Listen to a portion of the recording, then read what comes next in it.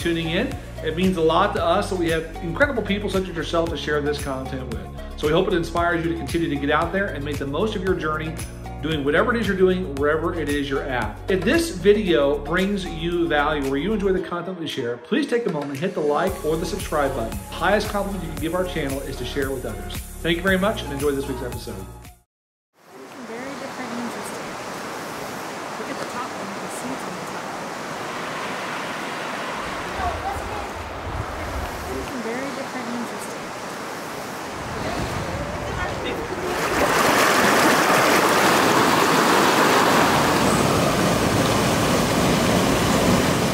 I don't know what it is, but just the sound of running water and walking by a stream, it does something in the soul.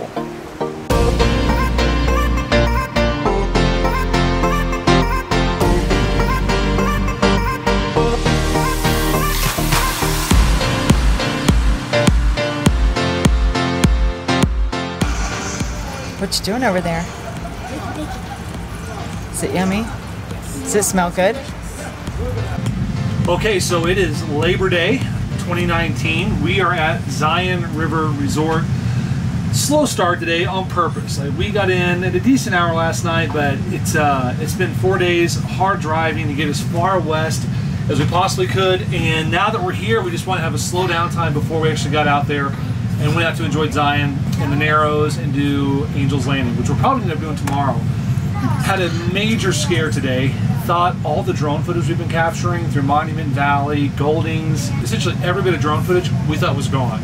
Come to find out, it's just that my computer can't handle the uh, 4K uh, footage. So I'm dumping it onto my phone just so I have it in case anything happens in the future. Uh, we're only renting the drone this time around just to see if we like it, to see if we can get some use out of it. So far, it's been amazing. I'll give a review on that later on. But we're ready to get going. Uh, campsite has been amazing. If you ever plan to come out to Zion and you are going to be uh, RVing, using a tow behind camper, even tent camping, uh, Zion River Resort is fantastic. It's called Zion River Resort because there is a river that runs right alongside of it. The staff here is amazing. The grounds are kept up immaculately well. So be sure if you come out this way to check out Zion River Resort. We're going to get underway and start moving so we can go out there and enjoy the Narrows.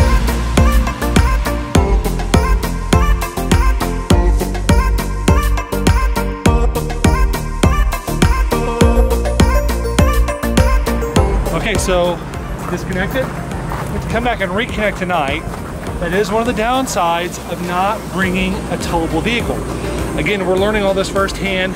We were smart. We probably brought the Malibu or the truck, towed it behind the RV, and then we don't have to disconnect and do all this stuff. But when this is your lifeline and everything's in here and there's no towable cars, this goes with you wherever you go unless you shuttle, which costs money. So we're heading over to Zion. It's hot, so we're looking forward to getting in the cool water.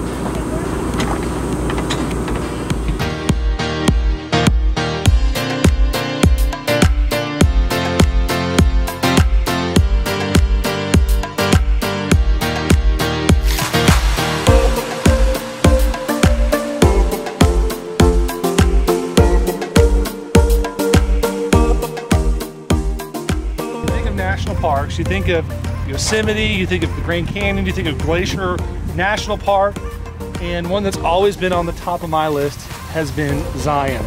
And just driving in here has been surreal. We can't wait to check this thing out.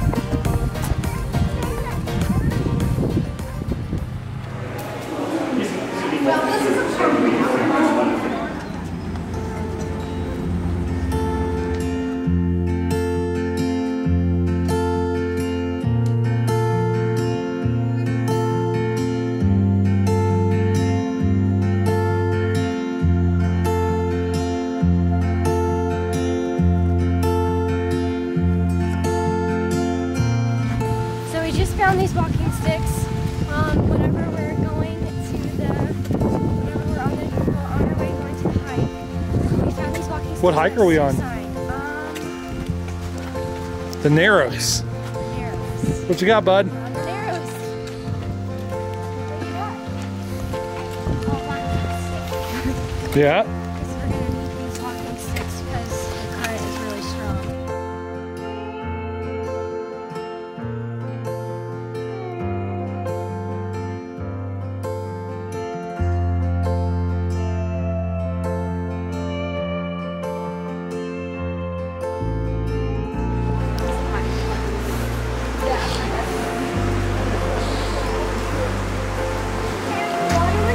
Came without walking. Yeah. Walk like a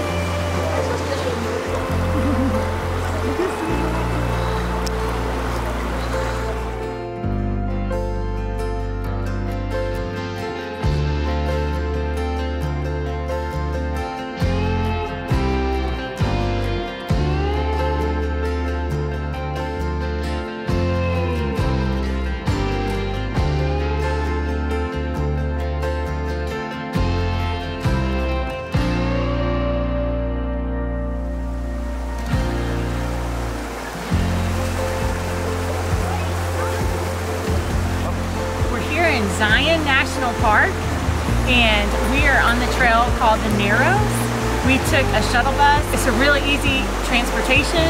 It's easy to get to. It's about a 40 minute ride on the tram and it is awesome. You get in the water and it's freezing cold. It is crowded, but not so much in the evening and that's when we came, the late afternoon and it's um, a lot less crowded and it's just, it'll take your breath away. It's gorgeous. Tips and tricks for the Narrows. Num- tip number one, you should bring really good shoes because sometimes it can get really hard to walk. Number two, you need a waterproof backpack for all of your things because you get wet. Really, really wet. and for you need walk sticks, um, the, the water is really slippery so you, you have to have walking sticks.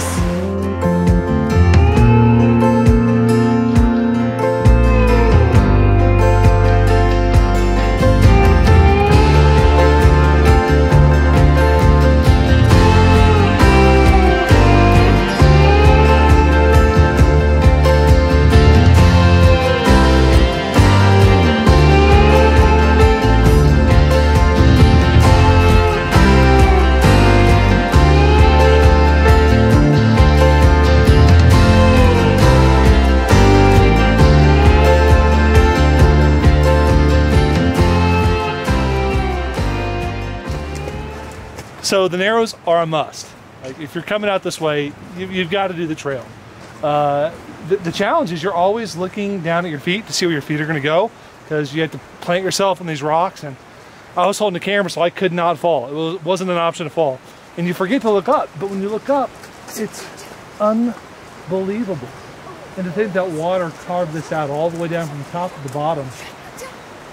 I don't know what it is, but just the sound of running water and walking by a stream, it does something in the soul.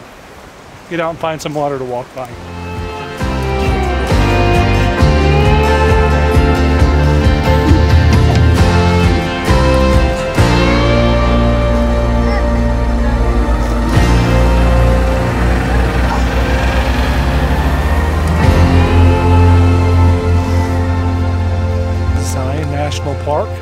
Smells like Frontierland in Disney World.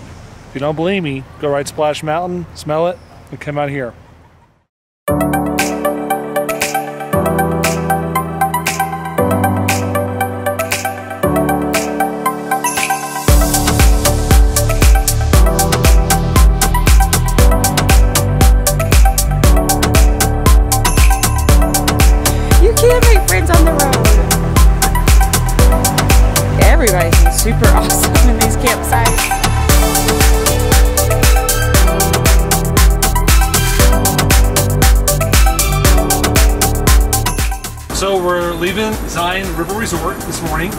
Heading in to do Angel's Landing, and then we're heading off to the Grand Canyon. So it's a big day, big travel day. Did a lot of laundry in the morning. Uh, got the, the you know the RV picked up, cleaned out. This is kind of our halfway point. Been a great, great time here at Zion River RV. You come out, you got to stop here. Had a little bit of an issue this morning. Had a clogged toilet. Never had that happen in an RV before. We panicked a little bit. Well, I panicked a little bit. Tried to fix it with a stick, which I don't recommend doing. Don't stick items in your toilet. So we had to call John in the service department here at Zion River RV. Really quick, came on out, really happy. Well, not I should not say happy, but very helpful. Hey John, we got a problem. Yeah, yeah. Uh, who put the stick in here? it was me. I have a feeling that John's unclogged a lot of toilets, but he was very, very helpful. Thank you, John. We appreciate it. As a matter of fact, the whole staff here at uh, Zion River RV has been fantastic. Wouldn't you agree, Jess? Yes. We're going to head on out. But this is Jessica's first time driving the RV. So it's a nine mile trek to the park. How you feeling about it, babe? I'm feeling good. Yeah? Yeah. And she has some really good support here with her this morning. So, you guys ready to go? Hey, yeah! Miss Ow. friends.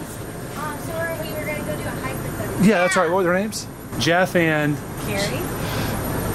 Okay, um, her name's here. She's already in Texas. Carrie Farmer. Jeff and Carrie Farmer. They're looking at doing this full time. Yeah. And, And they're from California. and, we're- Four kids, And they're also classical conversation homeschoolers. and they're all girls. all girls. What do you think about that, Daniel? like, this many girls? No. I wish. He's been asking me, can we have another baby so I can have a brother? Because there's just a lot of girls. It's just you and me. Well, he also has a permanent dirt mustache since we've been camping. Yeah. This kid has remained filthy the entire time.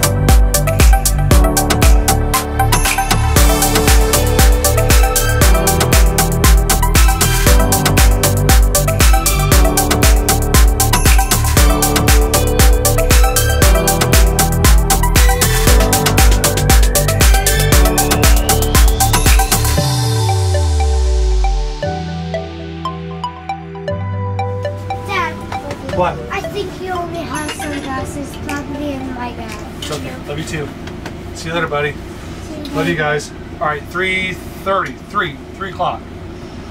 All right, I'll see you back at 3. But you'll have your phone, so Uh, if we have signal on here. yeah. All right, love you. Love you too. Love you. We'll pray Have bye. Hey, fun. turn the generator off when you leave, okay? Okay. And you have the keys. And locking the door, yes.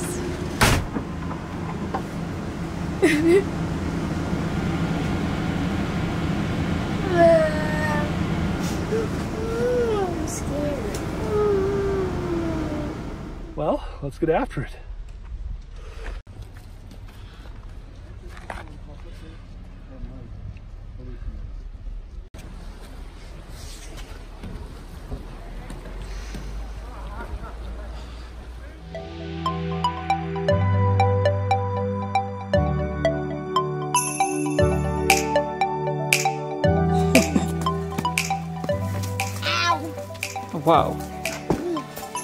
That feel high when you do that? Buddy, you know what? The national parks, we're not supposed to get off the trail, so let's get down.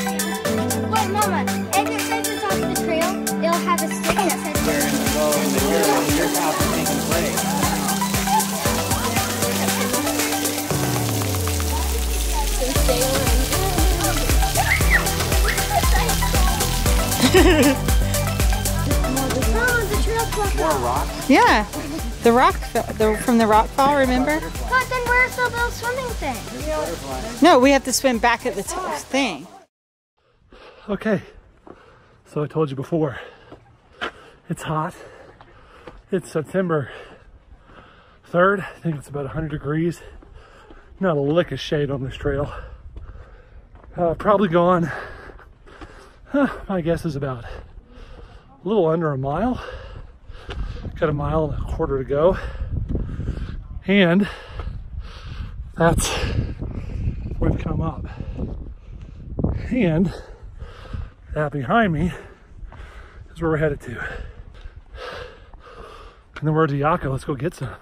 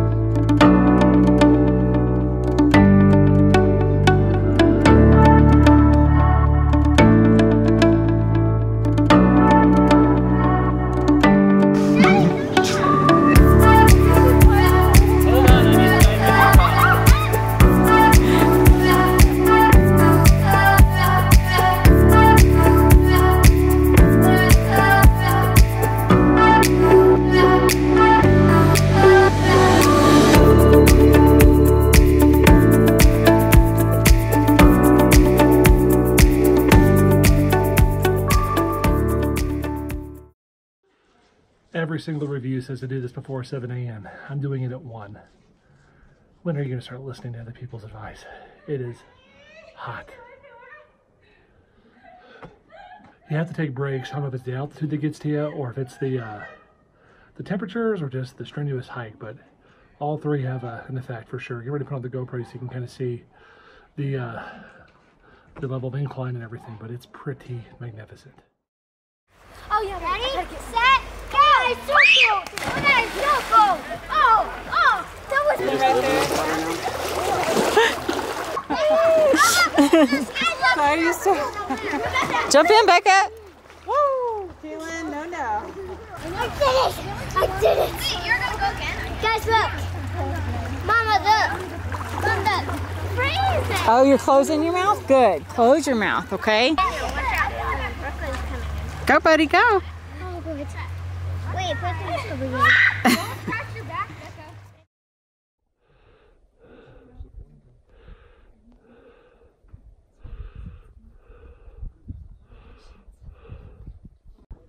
Okay, so I think I've gone, I think it's been about two miles, got half a mile, a quarter mile to go. And that's the trail to Angel's Landing.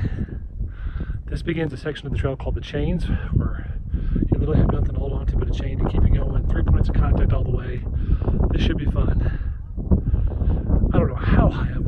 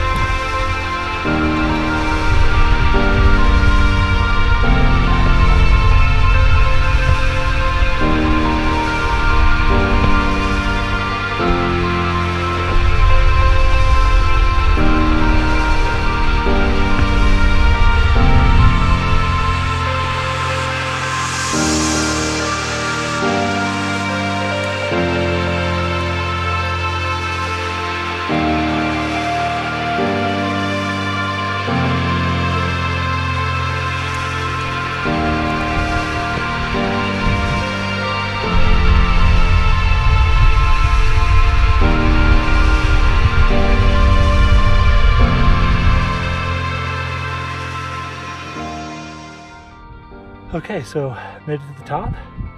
Took me a solid, a solid two and a half hours. This was without question the hardest, most physical, mentally uh, draining, emotionally intimidating climb I've ever done in my entire life. The oxygen is incredibly thin compared to what I'm used to. Can't breathe. I'm getting off this thing as quick as I can.